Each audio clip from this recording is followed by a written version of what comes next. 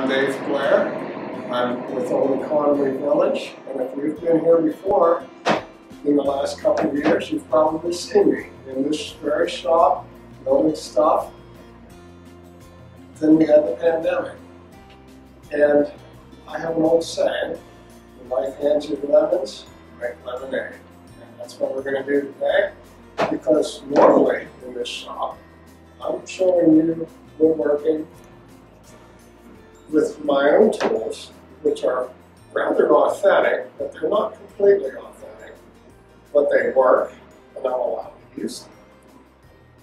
The problem is, I'm not allowed to use the real tools because we don't want to break them any more than they are, because a lot of them are 200 years old. So, today, we've got a special treat. We're going to go into the shop, and we're going to look at them. And we're going to see what they do, what they're for, I'm not going to use them, but we're going to show you what they're for. Follow me.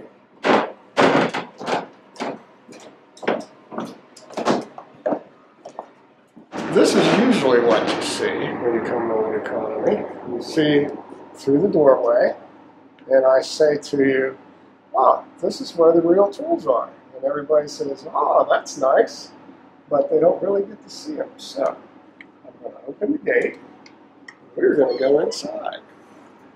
Welcome to the real shop. Well, I have to confess, I'm like a kid in a candy store right now. I see all these tools around and I'm like, wow, what's this do? What's that do? This is like, and what I want to do is show you. And uh, I think we can do this. And uh, actually, woodworking or building anything for that matter can be split up into various aspects. And what I want to do right now is talk about how they got, how they measured things. And uh, so we'll do that. But before we do that, I need to get my gloves on because we are taking care of the stuff. Like I said, this is the stuff that nobody uses and uh, because we want to take care of it but we can show you how they work. Okay, so here we go. Uh, the most obvious thing about measurement is measuring in a straight line. And they had rulers for that, just like we do now. Inches, uh, just like we do now. This is a folding rule that I'm afraid to open. Uh, it's in pretty good shape.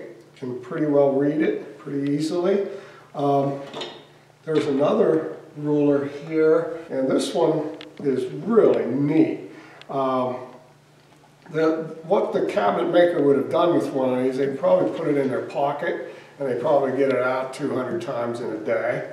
And it folds out like this, locks like that, and uh, the numbers are here. You've got the numbers on there. It's hard to read. It's this is very old, and but this would be for lineal or straight measurement. I know us modern people, we like tape measures and they work very well, but if you want to, a lot of times these kind work better for things like this. There's even a couple pins here that hold it steady when it's folded up and in your pocket. So you've got straight measurement, but then you've got angular measurement. And what they used then, as now, is called a sliding T-bevel. And this was used, uh, this moves, this blade moves. The more modern ones actually fold up. Well, this one does too. There it is. The modern sliding T-bevel is a copy of the antique sliding T-bevel. And what you would do with this would be, if you wanted an angle, let me take this, um, here's a table leg that I found in the um, shop here. Uh, I'll use it as an example. If I wanted to copy this angle here, and you might say, well, why would you copy that? But we won't go there right now. But if I wanted to copy an angle, I move this to that angle, I lock it, and I now have that angle. I don't know what number it is, and I don't care what number it is. You know, so if it's a 97 degree angle or whatever it is, I don't care and neither did they. And they would take that, and then if they wanted to transfer that angle onto something else, say onto this board, for example. They would take that sliding T-bevel, put that there, and they would mark it. And, you know, zip, that'd be your mark. Now, the thing you gotta remember though is, they didn't use pencils. Um, they didn't have pencils. Uh, what they used mostly was a sharp object, like a knife. Uh, you can actually get a more accurate marking with a knife than you can with a pencil. The only thing is with a knife, you can't erase it. But they were doing the same thing all the time and they got good at it. That's how they got an angle. But the disadvantage to a sliding T-bevel is, what if I bump it on something? And then it's not quite the same angle. I lost my angle. So what they had, uh, these are jigs. Uh, a jig is something that's made just for a specific purpose, and they had uh, angle jigs.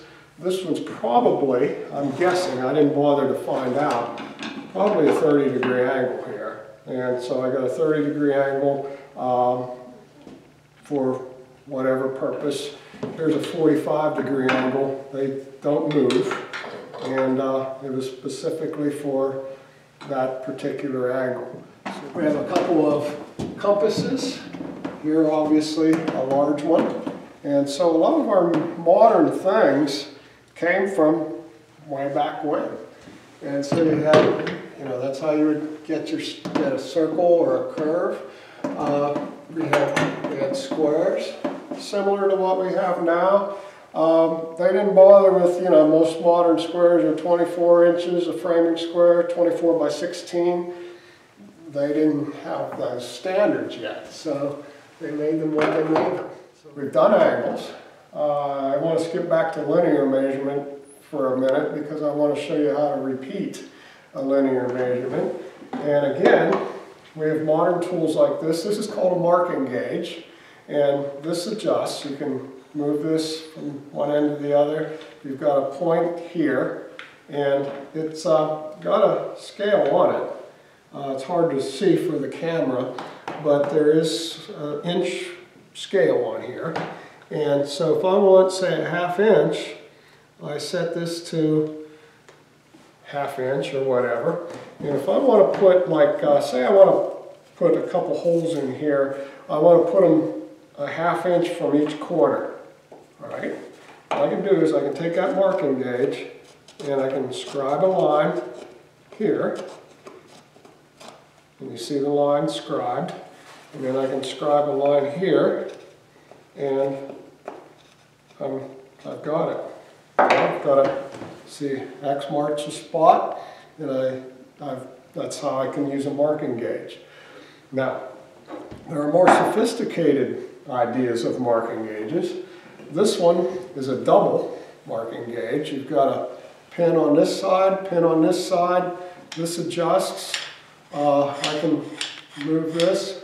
And so if I wanted to say, put a hole, now to save time, I'm just going to say this far in on the side and this far in on the end, I can do it.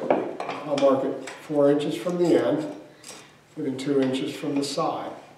And I can repeat that. If I need to repeat that a hundred times, I can do it. So this one's bigger and it's taking care of two measurements at one time. Uh, if I wanted something bigger yet on marking gauge, I can use this. And there is a uh, thumb screw missing here, but you have your point, and I don't want to move this. Now it's set at about an inch right here.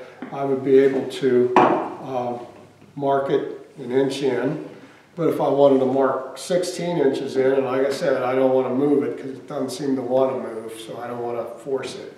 But this could go up to about 16 inches, and I could mark something on a larger scale. This is an interesting, I, I want you to understand the concept of what's called a jig, J-I-G. And a, jig is where somebody got creative to make something happen that they needed to happen. And in this case, this is a measuring jig that was here. Uh, it, at first I thought this was plywood. It's not. It's uh, curly maple, which is just darkened from age. And what they would have done is they, if they wanted to, they, uh, say, drill a hole repeatedly uh, that far from the end of something, they just put it on the end, they put it on the edge there and say there was another board here already, and they would just put their drill and they would drill right where they were. So uh, jigs are something that's used over and over again for marking, for, for many, many, many things. The sky is the limit. Just how creative you are is what you can do with a jig. All right, I think we've covered measurement. Let's move on. This time we're going to talk about sawing, which would be the next step. You know, before we talked about layout, then we have to cut. And uh, the first I'd like to discuss the earlier saws, the ones that would be used more in the 1700s and less in the 1800s. Uh, this is the, an example of the most uh, basic of work.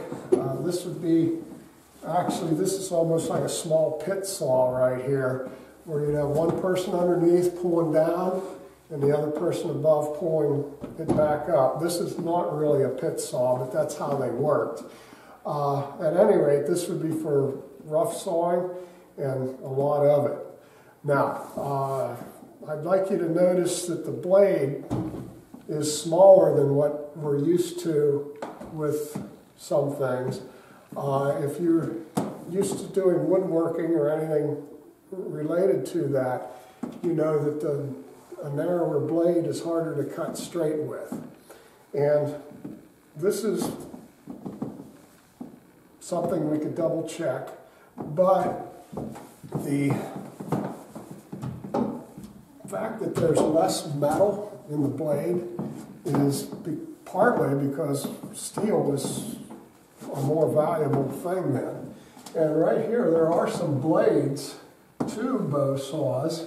Uh, here's a really good example of a bow saw blade here uh, that, um, you know, got a wider one here. The wider ones you can cut straighter with, but uh, the, uh, the metal, the amount of metal is part of it. The other part of it is are you trying to cut straight or are you trying to cut a curve? If you're trying to cut a curve, you're fine. Here's another example, and this one, notice how narrow that blade is. And you could cut curves quite well, but on the other hand, part of it was the amount of the cost of steel too. So anyway, we're looking at 1700s type uh, technology here, mostly. Um, the way a, bow saw works, obviously you, you saw with it like this. Usually the teeth would be going away from you, like modern. But uh, what happens is you've got this stick, and you can actually twist this around, and as you twist it, that pulls this tighter. And as this pulls tight, that pulls this tight. You know, this comes in here, smaller, and that makes this space bigger and pulls it very tight. So you got a very tight saw that way.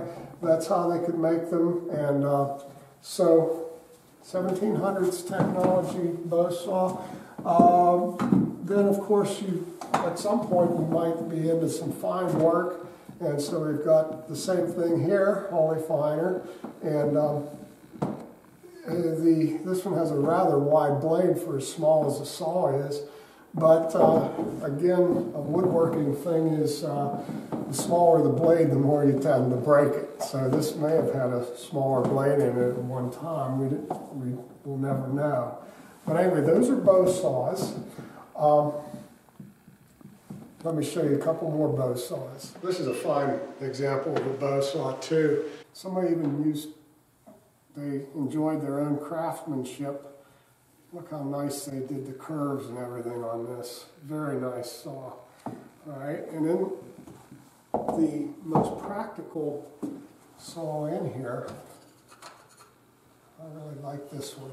It's got a wider blade, which means you could cut straighter.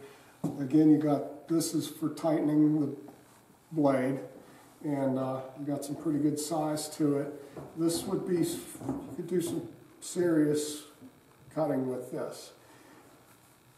Uh, as we toured the shop, we um, ran into this. Here we have a two-man tree saw is what we've got here. And they haven't changed much over the last couple centuries. You can still find two-man tree saws in use a little bit today. These handles are not original, but the uh, blade is. And uh, this could be anywhere from 1700s to the 1900s, depending on um, further research. Here's another tree cutting bow saw. This would be for tree limbs or medium-sized trees. Again, you got uh, different tooth design. We'll talk about tooth design here in a minute, but uh, that's more of a tree saw type. This one's a little newer. Either that or was fixed newer because you got some newer hardware on it. Uh, moving up into more of the 18th, uh, 1800s, uh, we have saws that look more like this, and to this day you can buy a saw that looks kind of like this. Uh, here we have a crosscut saw, and um, so we found a few of these in the shop also, and um, they go back at least to the 1830s, maybe a little farther back than that. So here's another example of what we found here. This is a uh, Disston brand saw. You can tell the age of the saw to within about 20 years or so, roughly, by this it's called a badge. But you see an eagle on there. And um, the Disston hand saws, that badge changed over time that uh, you can actually research the age of a um, Disston brand handsaw that way. All right, one more example of a tree saw, and this would be a one-man tree saw. Uh, two handles, heavy duty. All right, without going into detail on how to sharpen a saw, I will show you an interesting uh, jig that somebody had made for sharpening hand saws. You have the saw in like this, you put this whole device or jig in a uh, vise, another vise to hold it, and then you could file the teeth. Uh, the way it fit in here was uh, quite an interesting setup. They drove this board and this board in like a wedge, like two wedges beside the, on both sides of the saw obviously somebody got a little too uh, aggressive with their hammer and they drove these wedges just a little too far. All right, now I get to do something that I could not do in the other shop, and that is actually do these things because uh, I'm not allowed to use the tools, I'm just allowed to look at them. But here I have my own tools, so I can use them. And let me show you, first of all, I'm going to show you Whenever you're cutting across a board, that's called cross cutting, and whenever you're cutting with the grain of the board, that's called ripping. And the saws are different. I didn't show you the teeth on those saws in there, but you would have had the same. You would have cross cut saws, you would have rip saws. Um, but first, before I actually cut, I'll go ahead and scribe this. I'll take my uh, square, and notice I do not have a pencil. I have a scribe, and um, it would be used like this. All right, you also notice, okay, we got this wonderful woodworking uh, bench here. Uh, this is called a front vise, and this one here is called a tail vise. And I'll show you the tail vise later, but front vise, you also notice the woodworking uh, vices have a wooden, usually, if they're original, they have a wooden handle. There's a reason for that. If that handle's out this way and you're sawing and you accidentally, when you go through the board, hit the handle, if it's a wooden handle, you just nick the handle a little bit and go on and say, oh darn, I nicked the handle a little bit. If it's a metal handle, you have no appreciation until you actually sharpen the handsaw how much time and effort it takes to sharpen a saw and how quickly you can mess it up. So they uh, have a wooden handle for a reason. And anyway, a lot of people don't understand that uh, they pick up a saw that hasn't been sharpened for 40 years, and then they wonder, oh my, how did I ever cut anything with these? They, they work pretty well. Um, this is one of my most interesting tools. This is my own here. Uh, it has my great great grandfather's name on it. And uh, I'm thinking that, uh, well, this isn't the oldest saw I'm going to use today, but this one's, uh, anyway, it's been in the family for a long time.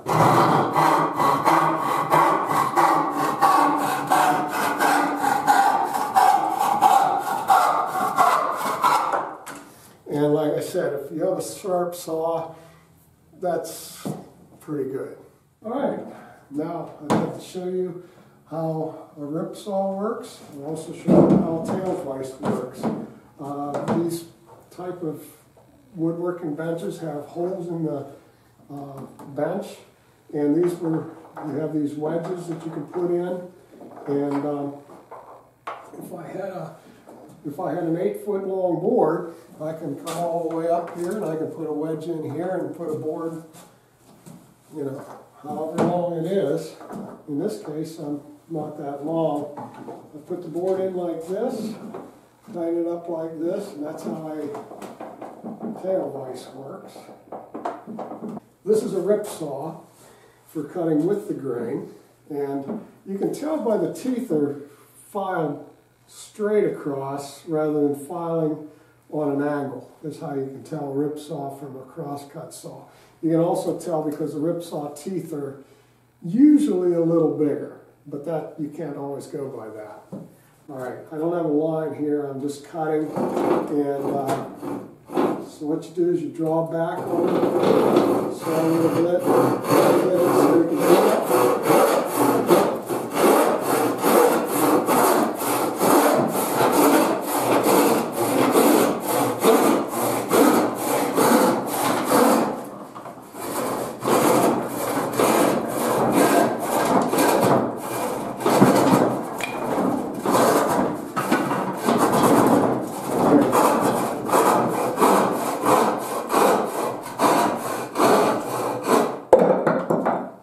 see that they are, when they're sharp, they do a pretty good job. There was a uh, tendency of this board, sometimes you get a board where the wood grain, when you cut, the wood tends to close in on it. And I think that might have been a little true here. Also, there's a characteristic that you can, the person sharpening the saw, in this case was me, can um, you can put more um, what's called set in the teeth. If you have a lot of set, means the teeth, you got one that goes this way, one goes that way, one this way, one that way. Uh, the less set there is, the more the saw will catch in the wood, as that one, as this one did here. Uh, the more set you have, the less it'll catch in the wood, but the rougher the cut. So you have to you have a trade-off. Do you want a rough cut and the saw not catch, or do you want a finer cut and the saw catches a little? So something to think about. We didn't find any of these in this cabinet shop. They'll probably wear some of these. This is called a back saw. And the reason it's called a back saw, you got the heavy back. Uh, they made them in crosscut or rip, although a lot of cabinet makers just used a crosscut because you can rip with a crosscut so it's just not as fast. And these aren't for fast cutting, these are for fine cutting, like making dovetails and stuff like that. They even have a smaller one that's called a dovetail saw, but they this is your basic back saw. Uh, if you ever do find a dovetail saw, uh, let me know. I'd like to have one. but uh, the handle is angled up more so that you're not having to uh, get yourself down as low. Uh, if I go very far, this will catch. on the wood because it does, doesn't have much set. It has a little bit of set, not much. Anyway, this would be used for cutting uh, the fine cuts like the dovetails, things like that. Hello again. Uh, today I'd like to show you about uh, planes. There are two main varieties of planes. Uh, ones that could be called molding planes, we'll deal with that separately. And in the flat planes, which are for uh, getting things either flat or getting a wood joint where you've got two boards coming together nicely. Uh, and uh, these are probably a European design plane. This one, this one, the uh, front handle is actually broken. But uh, at any rate, you've got the what I think is European. Then you've got your other basic flat planes. I tried to do a fair sampling of each here. This is sometimes called a coffin plane because you can see the shape of it. But this would be like a block plane, and you think, oh, gee, this is a lot more convenient to use than this. And so why the difference? If you use this, what will happen with a board is, here, I'll just get a long board here, and say, if I was to turn this into, a, say, a tabletop, and this was a board and a tabletop, if I use this plane to do this edge, it would do this, and would, you wouldn't be able to get it straight enough. So, the longer the plane is, the more accurate you can be. The uh, disadvantage to longer is uh, they're more heavy and more difficult to use. I've got two here that are the same size, and I purposely did that because A, this is the size that they would have used most of the time. 90% of the time you're using a plane this big. And what really works well is to set one light for just a light cut and have another one set for a heavier cut. So that's why I picked two of the same size because they would probably have used two of the same size depending on how light cut, heavy cut. Then you get into trying to get a straight edge.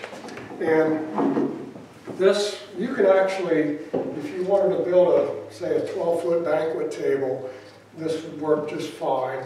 Although, some people would prefer longer. There's longer and then longer yet, right here. Now, as I get into this, you're obviously not noticing, but the weight becomes a more of a factor, especially if you're going to run this a couple hundred times over a board. Uh, the longest ones and Old there's a lot of planes here. And I'm just showing you a sampling, but there's probably uh, 10 this size here. And this is a hand plane. It um, probably had a handle back here, and we don't have it anymore. And it probably had a handle here, and we don't have it anymore. If you wanted something extremely straight, this would be the kind of thing you'd want to use. This was probably not run by one person. Uh, this would be two people. And what they would do is one person, remember these two? One person would take the one that's set coarse, they would run it uh, until they get the board where they almost wanted it, and maybe pick up another one, do a finer job, and then they'd get their friend or friends to push and pull a plane like this to get one ideally just one swath and you get maybe two or three or ten depending on how good you are, but you get the board extra uh, smooth and straight. You have all these holes in the table and now here's an oddity, this bench doesn't have a hole here. Now I have a feeling it's just because I thought there would be too much stress. So the board actually on this one um, if you were this length here or shorter, you could put, and you'd have the board perfectly straight in the bench. But here, you're back from that angle just because of the uh, not wanting to break the vise. You put this in here like this, like this, and then you would take your planes And at some point, you would end up using a big plane, get it uh, nice and straight. So this is a tail vise. If you're working with something shorter, you would be working with a vise like this. This is the forerunner of the front vise that we're used to in shops today. This is called a knee vise. And what it would work, here I'll show you a quick easy thing first. If I want to tighten the board up, no problem. The thing is, as you turn it out, this angle becomes more and more. So this angle, if this board was, like you want to put it in this way, for example, you'd have it on such an angle that it might want to pop out. So the way vise works, this pulls out here at the bottom, and you put a pin in here, and that would hold this so when you tighten it, let me just bring this out to show you. Uh, I don't have a pin handy, but if I wanted to put that board in that way, I put a pin in here, tighten this up, and it would work just as well as a modern vise. The only thing is you have to mess with this pin, which is no big deal because you're usually working with the same board for a while, and so that's fairly easy. So you've got your knee vise. Uh, you've also got some other ways of holding wood, especially with hand tools. Holding things is actually a pretty big deal. And they also use what's called a hold down. This was made right here at Old Economy uh, recently. This is not an antique. This is like maybe two years old. And the way it would work, this is called a hold fast. You put it in the, one of these holes like this, you take a mallet and you snap it, and it's very tight. And so you can hold boards down and do whatever you wanted to. Um, here's a couple more examples of uh, old economy's mallets that were used. Um, to be honest with you, this one's mine because I'm allowed to beat on my own stuff. And uh, then to get that hold fast loose, what you would do, just hit it from the bottom, it would come loose, and they work quite well. All right, now here we have samples of different types of molding planes, and I wanted to show them to you. And um, also I'm going to show you a little bit about uh, the way things are often built too at the same time. So a little bit of both. Um, right here we have a plane that's made to do a uh, tongue, like a tongue and groove. Um, this would make the groove right here. Uh, if you had a plane that was built for just some use, they'd be all wood. And then occasionally, when they really were going to use it a lot, the deluxe versions had metal. There was an in-between, too, that they used rosewood in uh, places here, that rosewood is extremely uh, strong. And so they'd sometimes do that. Uh, this almost lends itself to explain, like, like if you ever wondered about a frame and panel door. The way they were made, um, most people nowadays look at frame and panel doors as, uh, oh, look at the pretty door. But that's not why they did that. They did it because they were would stay straight and they would last longer. If I made a door this wide right here, uh, out of a solid board, which would be a lot less work, that board could expand and contract up to a fourth of an inch just from humidity. And so this is made to expand and contract less right here. And also it's made to uh, stay straighter because you have the boards on the end that keep it straight. Now, we were talking about planes, okay? Now the way this is built, okay, obviously you got some pins in here, and the pins would be drilled with something similar to this. I probably have the wrong diameter, but close. And you would drill the holes here. That would actually last. In the process, well, um, okay, with a frame panel door, here you have a groove. And I don't guarantee that I'm using the right plane here to show you, but here we would have a plane to make a groove. And then um, you would have a tongue, like on the ends here. This is a, a tongue cut, no, that's a bad example. But anyway, you could have a tongue plane to make a tongue and groove joint. Um, this flat part here, uh, you would have a plane that would work like this one. And this is uh, commonly called a rabbet plane.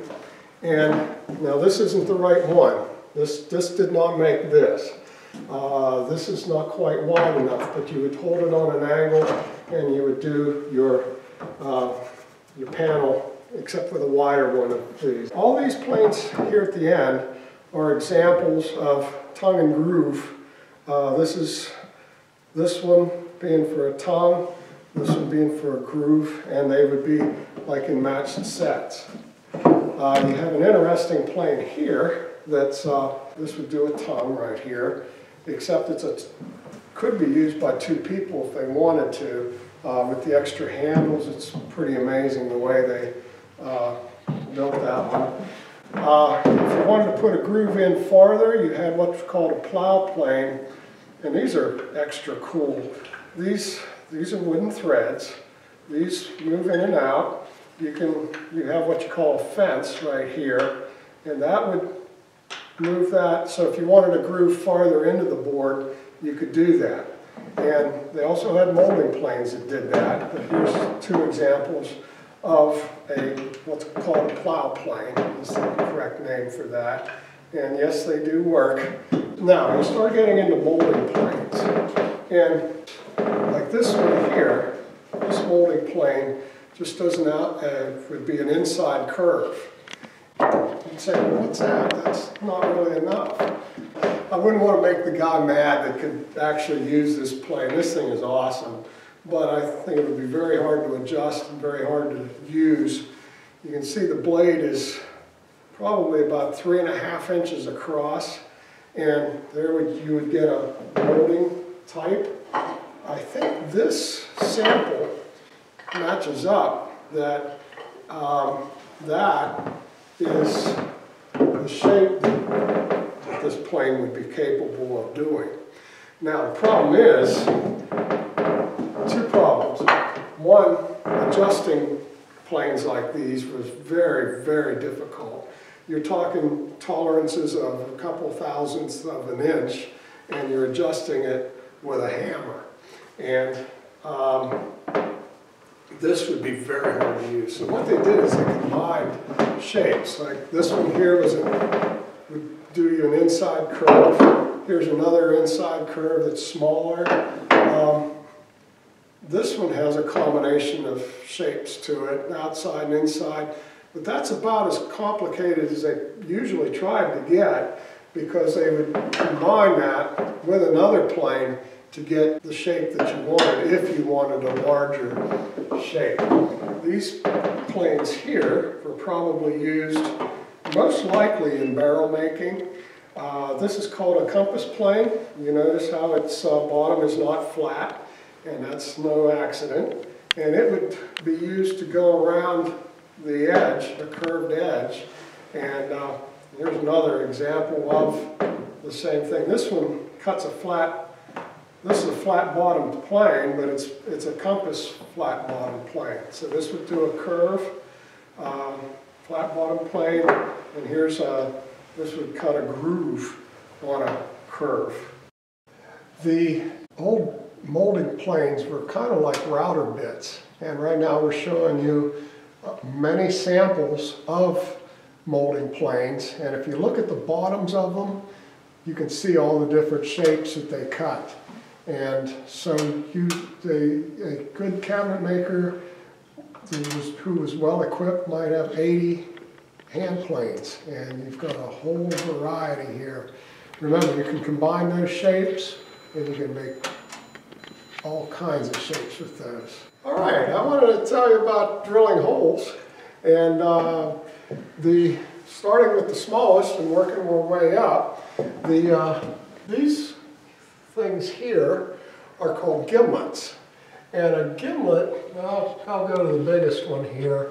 Uh, they're incremental, just like a set of drill bits. The way it's, it's got a spoon shape to it, all right? And I'll show you a larger spoon bit later, but this would be used like this. You put it to the wood. I don't want to mess up the lathe, but you just turn it like that, and they, they drill remarkably quickly. I didn't want you to get gimlets confused with carving chisels or uh, a lathe gouge. This was this would be a carving chisel. The way you would do it, you would put your hand on it like this, and you could control it like this, and you would uh, do hand carving with it. Or if you want a really intricate lathe cut, you might use it too. So a gouge carving chisel looks a lot like a gimlet, and but that's the difference. And not to mention a screwdriver. We have some machine screws, old example of screwdriver. And here's an example of an older screw. All right, as we work our way up to larger hole sizes, we have uh, what's called a hand brace, and that's what this is. This would be early 1800s. Uh, the early 1800s, you'd have a bit like this. It's called a spoon bit. And you would have had the older type hand brace. Nothing moves here. So this would be slipping in your hand, this would be slipping in your hand, and it would actually wear your hand out. So they got a little better, and uh, this would be late 1800s. This handle pivots, and this pivots, and the same thing. Uh, late 1800s, you had bits like this that uh, were capable of uh, fitting in here. Next we have augers, and uh, what it really deals with is leverage. You have more of a handle. The bigger the hole, obviously, the more strength it takes to drill it. So this is a hand auger. This one's machine made. This is, you can tell here, this is a, uh, for cutting tapered holes for pins, and it's obviously handmade. And then I have an extra cool hand auger type device here. This is for tapers. And now I'll give you a really good example of what this would be for. First of all, I want you to note that somebody years past put a mark on it there as a depth gauge. Now, I don't know how far back that depth gauge was used, but what they would have done on a post and beam building like this. I'm looking right up here now. See that where there's pins here and here? And what they would do, they would cut, they would cut four mortises in this beam. And they would fit these small pieces in, but they did this on the ground. They did this laying flat on the ground, probably, not guaranteeing anything. But then they would take a, this, a auger like this, this one is intriguing because it's very likely could have done this. It's the right diameter. And you would drill a tapered hole, and on these wood lathes, you, you wonder what they did with the wood lathes so much. Of course, they made, of course, they made furniture, but also they made pins that were tapered. And those tapered pins, they would drive them in, and then I was thinking they'd break, they'd cut them off, but in, in this case, looks more like they broke them off. But anyway, this is hand forged and it's for cutting tapered holes. And it would not surprise me at all if this tool did that. We'll never know. I'd like to show you a little bit about chisels. And here we have a typical large wood chisel. Uh, normally this one would be a a wood chisel. This is a lathe gouge, which is a different type of chisel. So you got that difference. You got a gouge, you got a straight chisel. This is normally used on a lathe. This is usually used by hand. The other difference I wanted to show you is a quality difference. Now on a lathe gouge, this wouldn't matter so much, but this is what's called a tang chisel.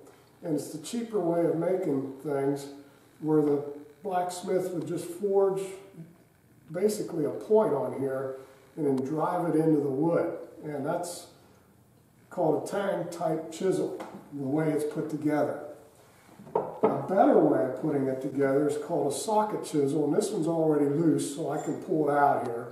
You've got a hole in it right here that this is turned on the lathe and goes in here, and when it fits right, the more you hit it, the tighter it gets. And the tang chisel will tend to split the handle, but a socket chisel will compress the handle and last a lot longer. Now sharpening, right now this is about as dull as a butter knife. We have a wonderful example of a, a grindstone here. This would be a two-man operation. You'd have one person turn it, and the other one would grind, and you'd hold it like this, and it would spin this way. There's no tool rest on this, which rather makes sense, really, because it's for rough sharpening. And that's how you would do your rough sharpening. Sharpening, we showed you the first step, and that other tool, the other grinder, didn't even have a tool rest on it. This one does, and now it's belt drive. You have a very old belt, which I will not turn because I am pretty sure I would break it. There's a treadle down here that functions pretty much like a treadle sewing machine. And at one time, this wheel was probably larger in diameter. As we know, grinding wheels tend to get smaller with use. This would be for the fine, finer grinding. You'd have a tool rest here. When that wheel is bigger, you'd be holding the chisel like this. And as the uh, wheel wears down, you'd be holding the chisel like this, working the treadle, getting it a finer cut. So this is a fine example of a fine cutting sharpening machine. Now we're ready for a hand sharpening stone. This one was found here on site.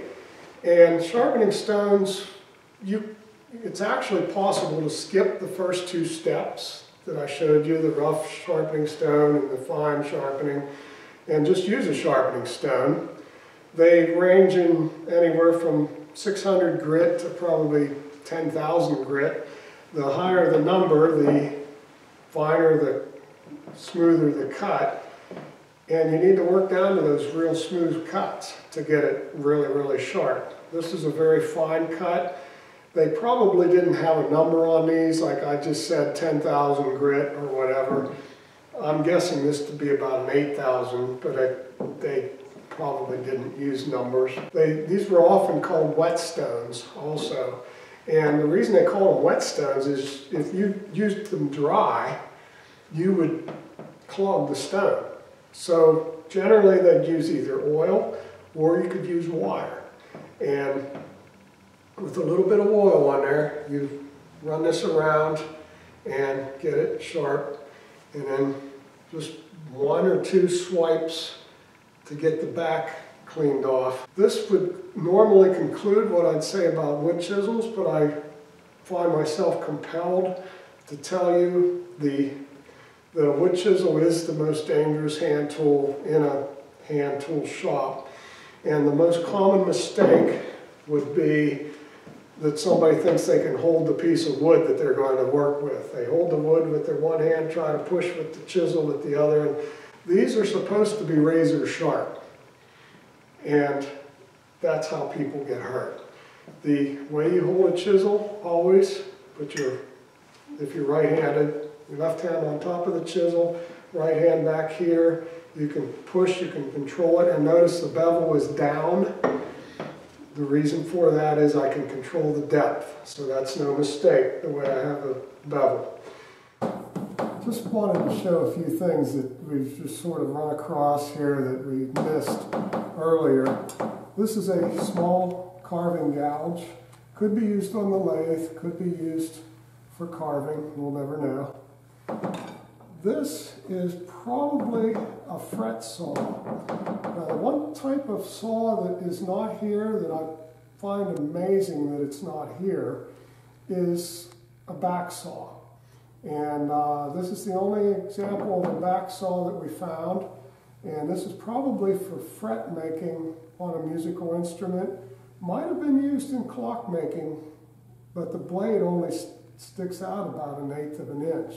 But anyway, that is the only example of a back saw that we found. And I, when I say back saw, I use the term rather loosely. Going in the other, to the other extreme, this is the biggest plane we found for finished work.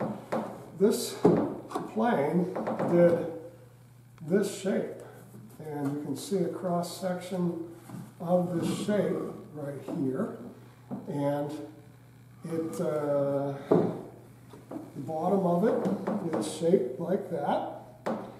Now the thing that we're not doing here is trying to use it. I'm actually pretty glad of that. As mentioned before, they'd often do planing in small segments. Here's a good example. This is really three boards here. You got one board with one shape, another board with another shape, and another with another shape to make a type of molding that looked bigger. And what they normally do would be to do in small segments. This one is so odd because it's such a big thing all at once. This would be horrible to adjust. And you'd have to have it within probably one or two thousandths of an inch at the most to be able to push it and get it to work right. So this would be very hard to use. But anyway, that was an interesting example. Now moving right on to clamping, we've got some examples of clamps here. Here's a wooden C-clamp, and here's a metal version of the same thing. This is hand wrought, and uh, so you see an example of a hand wrought C-clamp. We also have what's called a screw clamp, and this has wooden threads, and I don't have, what they used for cutting wooden threads was a tap for cutting internal wooden threads and what's called a die for cutting external wooden threads. And we couldn't find a die anywhere, but I did find a tap. You can match up here, but it doesn't match perfectly, so this tool did not make this. But that's uh, for the internal threads. Here's an interesting jig that we found. Remember, a jig is something that is used for just about anything. In this case, it's probably making small picture frames to clamp them, or maybe a clock part. Again, we'll never know. Uh, on the other end of the spectrum, if you wanted, if you needed something big, excuse me, we have what's called a bar clamp, and we have bar clamps, modern bar clamps. Many people have used the ones that are based on a pipe. This, this would uh, move here, and you could adjust it to whatever rough adjustment here. Again, you have wooden threads, which you would tighten up. The, uh, so that you didn't mark up the wood, if you were clamping into that, what you do is you put a piece of scrap wood in between the, you know, to protect the good piece. Here we have a joiner plane, and this could have been used in a cabinet shop. More likely it was used in the coopering shop, but we'll never know. The blade is missing. We have the, what held the blade in, that's what this is. And the way it would work would be run the board over it, just like you would an electric joiner like this. And uh, it seems less safe than a regular plane, but I'm sure if people used it all the time, they got pretty used to it. What we have here are two fine examples of shaving benches. This one's authentic to Old Economy, and it's a little rickety, and so I don't want to mess with it very much. This one here was donated, and I'm allowed to use it to show you how it works. The way a shaving bench works is you've got a lever here that you push with your foot. And so what you can do is you take a board and you put it in here and you can, it holds it just like a vise.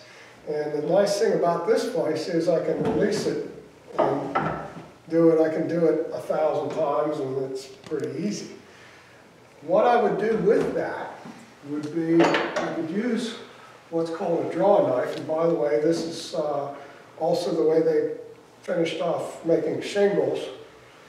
But uh, you use the draw knife, pull, you would draw it forward. This is supposed to be razor sharp, and you pull it towards you like this.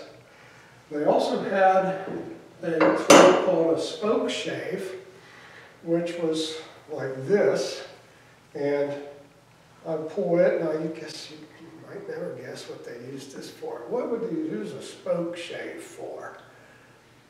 Hmm. Maybe making spokes. Here we have one of Harmonist's wood lathes, and this is an awesome machine. I mean, look at it. You, you got to be King Kong. To, they made a bench to stand on, which I'm now standing on, because this machine is so tall. And the reason it's so tall is you have this wheel here. The idea is a person would work this treadle which would make this spin. And basically, you've got what you have on a modern lathe. You have the headstock, you have the tailstock, you have, uh, in this case, it's a four-jaw chuck, which isn't quite all there, but almost. You have a four-jaw chuck right here. This is called the tool rest right here. And then you would have your lathe tools. For most of the time, taking off a lot of wood, you'd use what's called a gouge. And a gouge is shaped like this with the spoon, and it works better than a flat chisel. And now this, normally this uh, tool rest would be closer to the wood than what I am. It would be more like an eighth inch away. And I'd work the lathe like this. I put the handle here, put it up against myself, and I've got lots and lots of leverage and I'll be turning this and uh, by the way this is a multiple speed lathe too and you've got a smaller place for the belt to be here that would make it uh, go faster so this is the slower one that's the faster one you have what's called a skew which is the angle of it is skewed off to the side they're more for if you're trying to get something straight. Normally, like this straight part here, you would use a gouge first, get most of that off, and then straighten it out with a skew. All right, let's say we wanted to put a hole in a board, all right? We would use one of the augers, we would drill a hole. Let's say we want to go one step further and make a square hole. What you would do to make a square hole would be you'd, you'd mark it out first. Then you drill a round hole just like this. And you'd use a chisel. This one is for some very robust work. You see the thickness of the metal here. And to uh, chisel out that circular hole into a square hole or a mortise, which would be a, just the same except with a that would be bottomed. They would often or mostly use mallet, a wooden mallet, instead of a metal hammer because if you have a wooden chisel, the wooden mallet will do less damage to your chisel and the chisel will last longer. So that's how they would do that. Of course, this would be in a vise, I should add. This is called a, a cornering chisel. You see how we do a nice corner. This is one step up from that. And again, you'd have to pound on this, and that would get your square corners onto that round hole. So that's a second way to do it. This tool is the deluxe. This is for making square holes. This is called a mortising machine. And any cabinet maker of the time would be absolutely drooling at a machine like this. The way it works is you've got a treadle down here, and you push on the treadle, and the cutter, you have a chisel in here, And this all adjusts. This table adjusts up and down. This fence adjusts out and back. Now here's another feature. This is almost like a bow and arrow here. You got wood that actually bends. I can move it a little. I'm afraid to move it. It's full travel, but you can see how it works. You can see this moving right here. And you put the board in here, you chalk down on this, and it would cut out square holes way faster than the other two. So I've shown you a regular chisel, a quartering chisel, and a deluxe mortising tool. All right.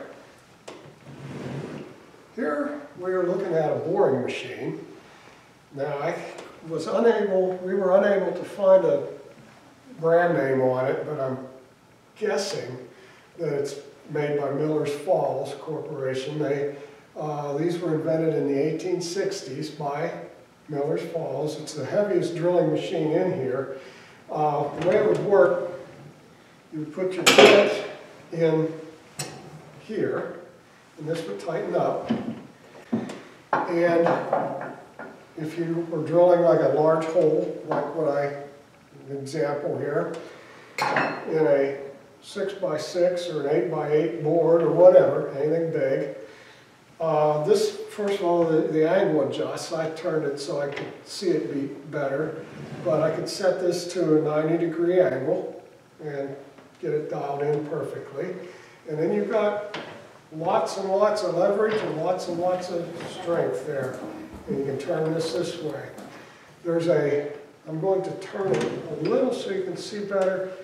This is, whenever you have a gear that's laid out in a straight line like that, that's called a rack.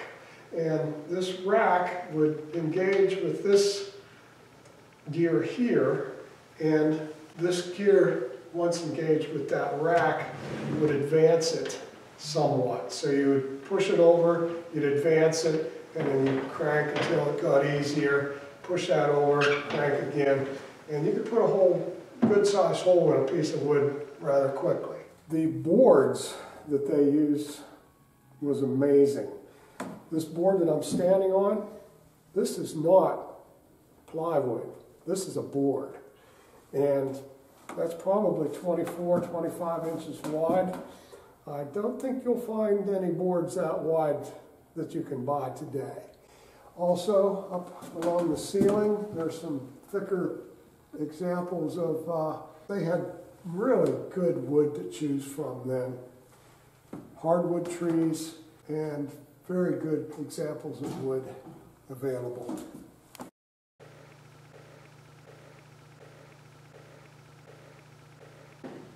As we conclude this tour of the Old Economy's cabinet shop, I want to tell you that nobody has enjoyed this more than me. All these toys, I mean tools to look at and, and experiment with, it's been great.